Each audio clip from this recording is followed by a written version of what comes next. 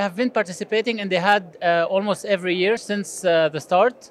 Uh, we are so happy to see uh, that uh, life is again, uh, people are participating in exhibitions. Uh, DIHAD for us is the most important exhibition in the humanitarian sector.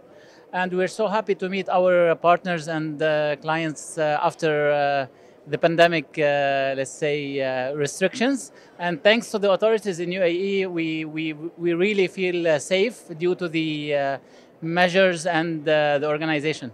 NRS has been always a partner with uh, DIHAD uh, as exhibitor.